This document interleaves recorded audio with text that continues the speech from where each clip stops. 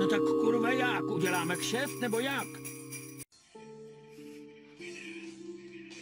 Jednou, když jsem byla u Kuby na návštěvě a byla jsem ještě mladá bréca, tak jsem tam přespávala a něco se stalo.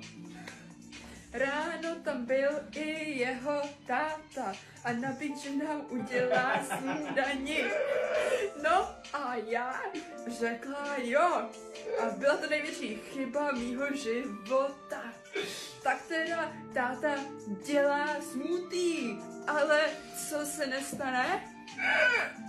Dá do něj všechno ovoce a zeleninu a je to refreshující smoothie.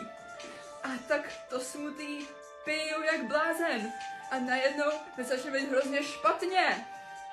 A tak se říkám, co se do prdele děje. A pak jsem to tam celý posrala. Ale nejlepší na tom bylo, že Kubova máma hned stála vedle toho záchoda.